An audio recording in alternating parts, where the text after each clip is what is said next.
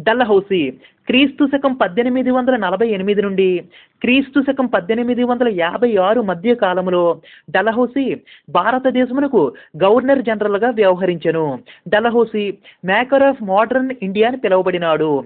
ఇతడు రాజ్య సంక్రమణ సిద్ధాంతాన్ని ప్రవేశపెట్టెను. అనగా వారసులు లేని స్వదేశీ సంస్థానాలు బ్రిటిష్ సామ్రాజ్యంలో విలీనపరచబడతాయి. దీనిని శాంతి కొరకు విలీనమని పిలిచినారు. ఈ సిద్ధాంతం ప్రకారం క్రీస్తు శకం పద్దెనిమిది వందల నలభై ఎనిమిదిలో సతారా క్రీస్తు శకం పద్దెనిమిది వందల నలభై తొమ్మిదిలో జైపూర్ మరియు సంబల్పూర్ క్రీస్తు శకం పద్దెనిమిది వందల యాభైలో భగత్ క్రీస్తు శకం పద్దెనిమిది వందల యాభై రెండులో ఉదయ్పూర్ క్రీస్తు శకం పద్దెనిమిది వందల యాభై మూడులో ఝాన్సీ క్రీస్తు శకం పద్దెనిమిది వందల యాభై నాలుగులో నాగ్పూర్ క్రీస్తు శకం పద్దెనిమిది వందల యాభై ఆరులో అవధులు బ్రిటిష్ సామ్రాజ్యములో విలీనపరచబడ్డాయి.